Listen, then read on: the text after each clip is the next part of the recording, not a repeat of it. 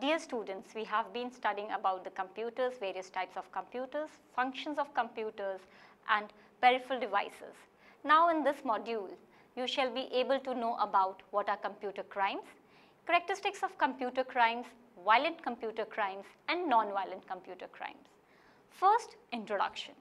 Today, we live in a world of global connectivity.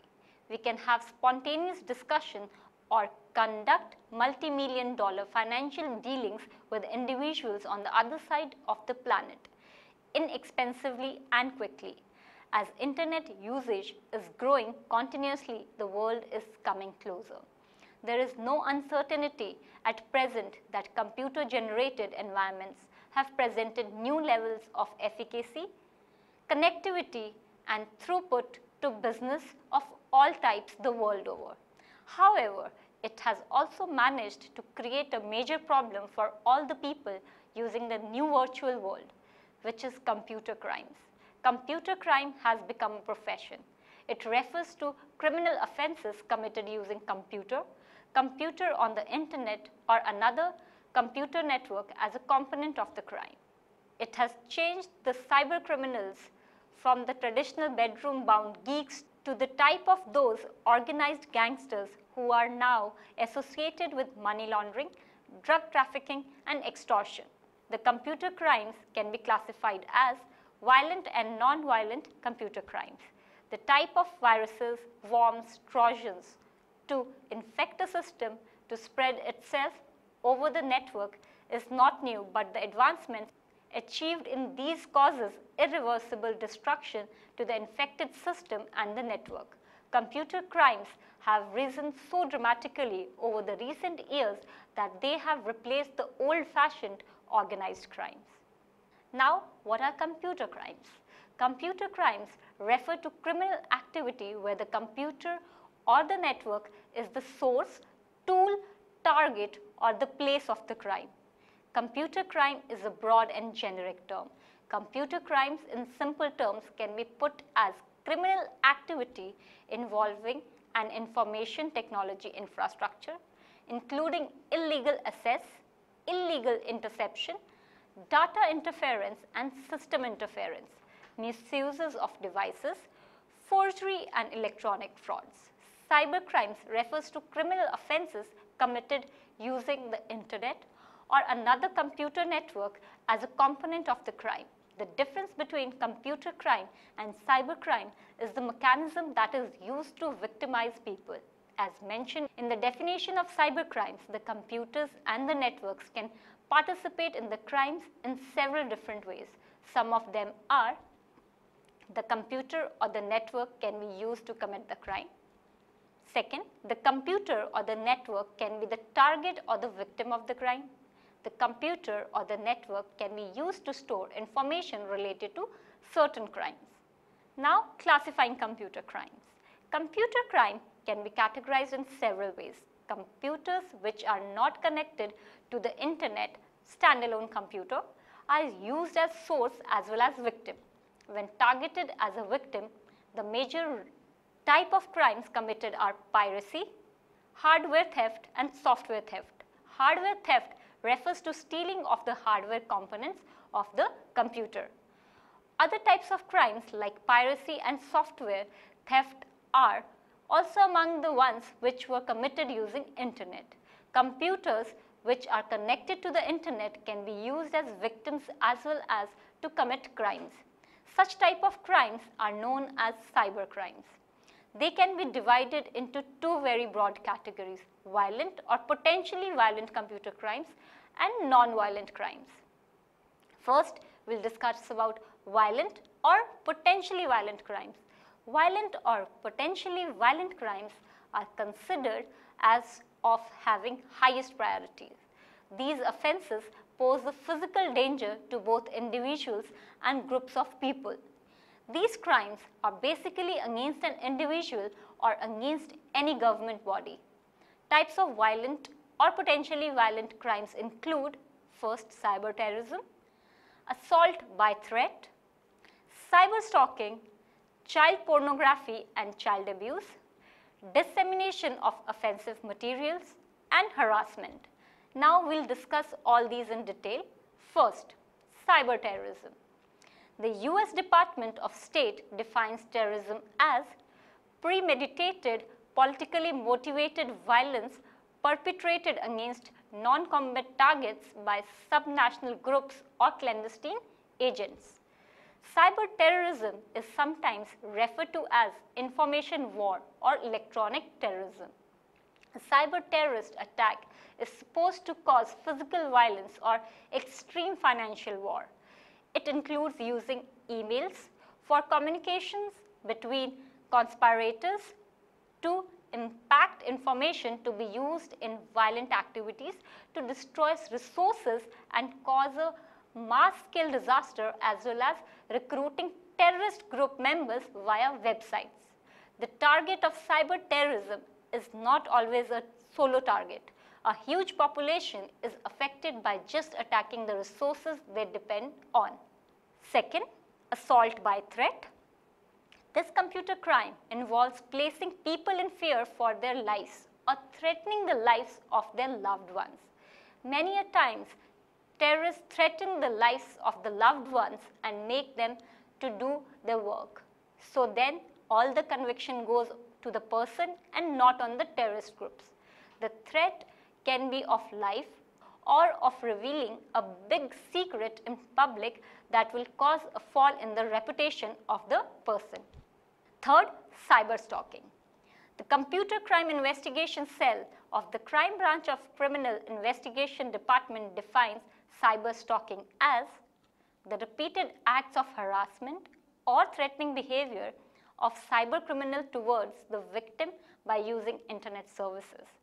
Stalking can be generally defined as the repeated acts of harassment, targeting the victim such as following the victim, making harassing phone calls, killing the victim's pet, leaving written messages or object at the victim's place or surrounding. Next is child pornography and child abuse. It consists of various facets, individuals who are engaged in the activity of creating pornographic materials using minor children, individuals who distribute these items and also those people use them. When computers and networks are used for any of these activities, child pornography becomes a computer crime. It is generally considered a violent crime, even if the persons involved in these had no physical contact with the children. Fifth is dissemination of offensive materials a lot of objectionable content exists on the internet. This includes sexually explicit materials, racist propaganda, and many a times instructions for the fabrication of explosive devices. The telecommunication systems can be used for harassing or threatening people. Next is harassment. It can be defined as the vulgarities at particular person centering such as on gender, race, religion, nationality, sexual orientation, and more. This often occurs by sending hate emails to the victim and defaming them publicly to make them react in a way the criminal wanted. Next, we will discuss about non-violent crimes. Most computer crimes are non-violent offenses due to the reason that the defining characteristic of the online world is the ability to interact devoid of any physical contact. Non-violent computer crimes can be further divided as follows. Frauds, cyber trespass, cyber theft, drug trafficking, corporate account takeover, piracy, electronic money laundering and tax evasion, illegal interception of telecommunications, IRC that is internet relay chat crimes, net extortion, phishing, cyberbullying, and destructive crimes. Frauds are further divided into cyber fraud, tax refund fraud, investment fraud, electronic funds transfer frauds, and credit card frauds. Also, destructive crimes are classified into cyber vandalism, viruses and other mal malicious, repeat, viruses and other malicious codes, internet gambling, internet drug sales, cyber contraband, IP spoofing, ARP spoofing, DNS spoofing and DOS attacks. We shall be discussing them in detail. First, computer frauds. Computer frauds can be defined as the use of information technology to commit frauds that include computers, the internet, money transactions, investments, and credit cards. Tax refunds to cause monetary or a financial gain at the end. The different types of frauds are first, cyber frauds. Cyber frauds involve offering falsehoods to obtain something of value or benefit. In here, the victim voluntarily gives the money or property to the criminal, but would not have done so if the criminal hadn't made any misrepresentation or false promise of some kind. Next is tax refund fraud. The process of tax refund fraud goes like this. The cyber criminal first obtains the valid name and social security number. The cyber criminal then makes a withholding information, claims standard deductions and perhaps tax credits and completes a return that creates or generates a large refund. The cyber criminal files the return. The criminal then simply waits for either a check to be mailed, a direct transfer or fund to be made to a safe bank account. Next is investment frauds. Investment frauds targets individuals. The fraudsters use convincing arguments to make people part with their savings. The types of fraudsters usually want the individual to invest their money in a company or an opportunity which seems to be offering very high rates of return. Next is electronic funds transfer frauds. Electronic funds transfer systems have developed and the chances of getting intercepted has also increased. Valid credit card numbers can be intercepted electronically and the digital information stored on the card can be counterfeited and used by the criminal. This crime also includes transferring large amount of money or shares from one bank account to another bank account. Next is credit card frauds Credit cards are the most frequently used electronic payment instrument. Credit card fraud is a form of identity theft that involves an unauthorized taking of another's credit card information for making purchases of huge amount or just withdrawing funds from them. Next is cyber trespass. In these offenses, criminal assesses resources that a computer or a network needs without any kind of authorization. The primary aim of trespassing is to enter the computer or the network. The criminal does not need to damage or misuse the data contained in the computer or network. Cyber trespassing involves the act of snooping around in the computer or the network. Next is cyber theft. Cyber theft refers to the act of stealing of financial and or personal information through the use of computers for making its fraudulent or other illegal use. Many different types of cyber thefts are A. Theft of sensitive data. In simple words, getting access to and stealing of sensitive data is referred to as theft of sensitive data. The sensitive data consists of unencrypted credit card information, personally identifiable information, trade secrets, source code of any software or application, all employee records and so on. Next is theft of intellectual property. Intellectual property includes commercial copyrighted materials like music, movies and books. They are always at risk of being stolen. Next is identity theft. Identity theft occurs when a cyber criminal successfully steals a person's personal identifiable information. The crime ends with the victim suffering from any financial loss or any kind of damage that can be done with the data.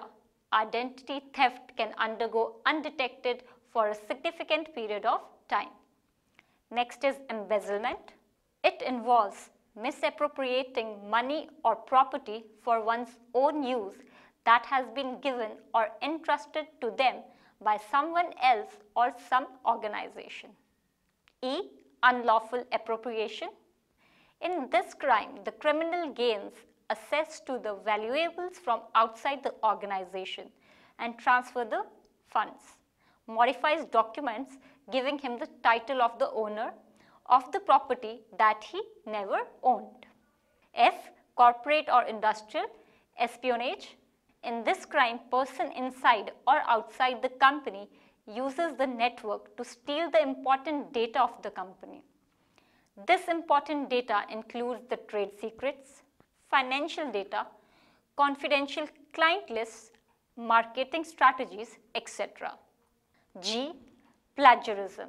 It is the theft of someone else's original writing with the intent of passing it off as someone's own work. H. DNS cache poisoning. It is a form of unauthorized interception in which the contents of the computer's DNS cache is manipulated so that all the network transmissions going to that specific domain name is redirected to the attacker's servers. Now fourth type is drug trafficking.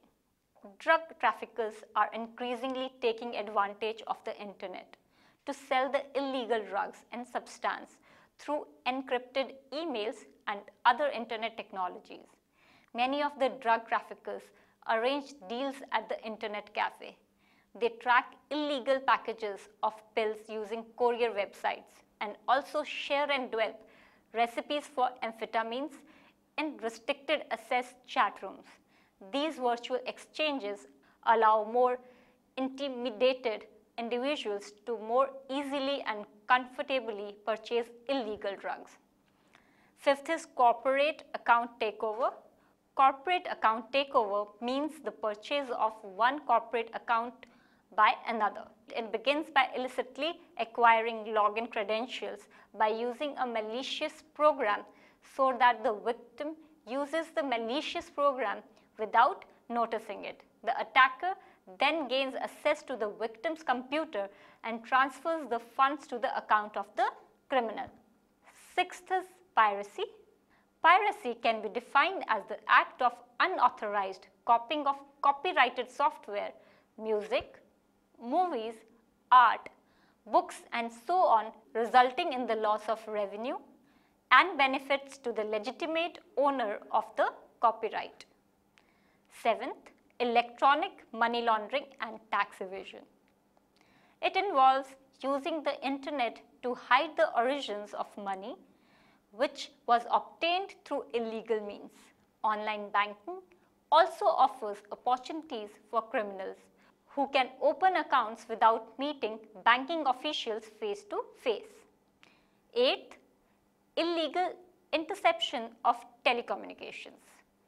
Illegal interception means interception of the personal and confidential without the consent of the members of the conversation. Many times, calls are tapped or intercepted to know the conversation. Existing law does not provide interception as legal. Ninth, IRC, Internet Relay Chat Crimes. IRC servers have chat rooms in which people from anywhere in the world can come together and can chat with each other. Criminals use IRC rooms to meet co-conspirators. Hackers use them to discuss their exploits or share their techniques. 10th, net extortion. Cyber extortion or net extortion is a crime involving an attack or threat of attack against an enterprise or a corporate company coupled with the demand for money to stop or avert the attack. The method nowadays used by the cyber criminals is to use ransom, where they encrypt the victim's data. The attacker then demands for the decryption key. 11th, phishing. Phishing is an email fraud method in which the perpetrator sends out legitimate looking emails in an attempt to gather personal and financial information from the recipient person. The emails directs the user to update their personal information such as passwords and credit card passcodes, update social security and bank account numbers. The email that asks for such detail redirects the user to a fake site that looks legitimate and is set up to steal the user's information. 12th, cyberbullying. Cyberbullying is bullying done through electronic technology.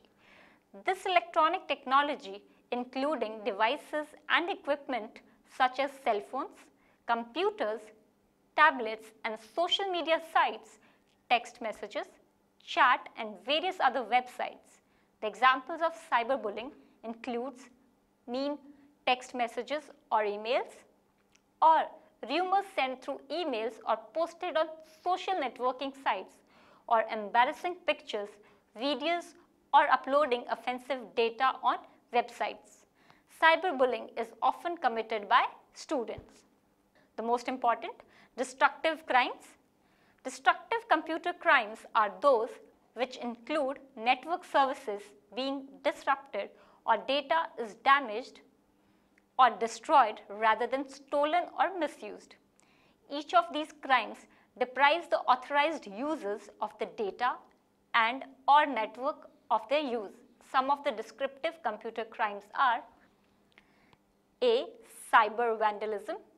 Cyber vandalism can be random act just, just for fun by bored hackers with a malicious streak or it might be a form of computer sabotage for profit which includes erasing all the files of business competitor or erasing someone's personal identifiable data.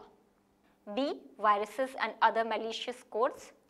They comprise a huge problem to all internet connected computers. A computer virus is a program that causes unwanted and often destructive results when it is run. Viruses affect the program or application's smooth functioning causing it to malfunction or stop working. A worm is a virus that replicates itself. It often spreads after replication affecting every program in its way. Trojans act as a way to get a virus or worm into the network or computer. C. Internet gambling. Internet gambling has flourished with online customers able to place bets in virtual casinos using credit cards. It is also known as online gambling and iGambling. And in simple terms is gambling using the internet. The different types of internet gambling are poker, casinos, sports betting, bingo, lotteries, horse racing betting, mobile gambling, in-play gambling and advanced deposit wagering. D. Internet drug sales. Buying and selling prescription drugs off the internet results in criminal charges of illegal drug distribution or conspiracy to manufacture illegal drugs. Both the trafficking of illegal drugs and the sale of prescription drugs by online pharmacies are growing problems. E. Cyber contraband. Cyber contraband refers to data that is illegal to possess or transfer. Cyber contraband simply refers to transferring illegal items through the internet that is banned in some places. S. IP spoofing. IP spoofing involves changing the packet headers of a message to indicate that it came from an IP address other than the true source. Here the sending computer impersonates another machine and fools the recipient into accepting the fake messages. It can be used along with other attacks like ping of death, teardrop and other attacks. Any service that uses IP address authentication is susceptible to IP spoofing. G. ARP spoofing. The address resolution protocol maintains the ARP cache. This is a table that maps IP addresses to media access control, that is MAC or physical address of computers on the network. The MAC address is used at the physical level to locate the destination computer to which the message should be delivered. ARP spoofing, also called as ARP poisoning, is a method of sending forged replies which result in incorrect entries in the cache. This result in subsequent messages sent to the wrong computer. H. DNS spoofing. The DNS is responsible for managing the resolution of domain names into an equivalent IP address. Any successful replacement of a valid address with an alternate address causes people attempting to access the domain name to visit the wrong website. This gives attackers a chance to create their own website that masquerades as a legitimate site and to attempt to steal all kind of information by getting between the user and the real site. I. DOS attack. DOS attack known as denial of service attack is one of the most popular choices of hackers to disrupt a network's operations.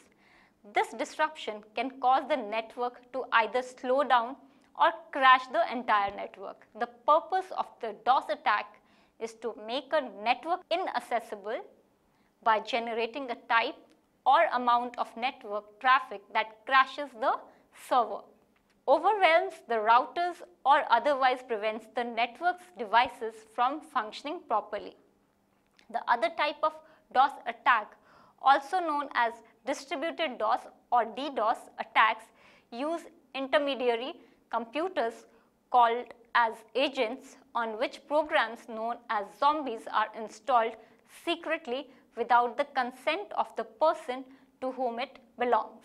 Then the hacker activates the zombie programs remotely, causing the intermediary computers to simultaneously launch the attack.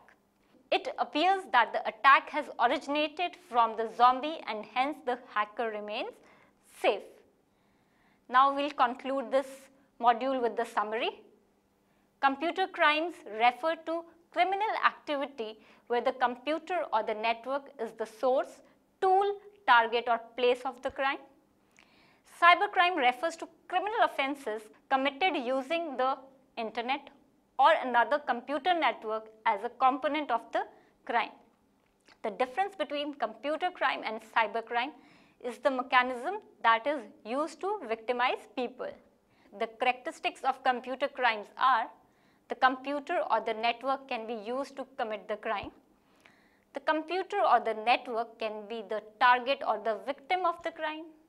The computer or the network can be used to store information related to certain crimes. Computer crimes can be classified into two, violent or potentially violent computer crimes and non-violent crimes. Some of the violent computer crimes are cyber terrorism, assault by threat, cyber stalking, child pornography and child abuse, dissemination of offensive materials and harassment. Some of the non-violent computer crimes are computer frauds, cyber trespass, cyber theft, drug trafficking, corporate account takeover, piracy, electronic money laundering and tax evasion, illegal interception of telecommunications, IRC, crimes, net extortion, phishing, cyberbullying and destructive crimes. It is important to realize that criminals have begun to incorporate computers and the internet in their crimes for specific reasons.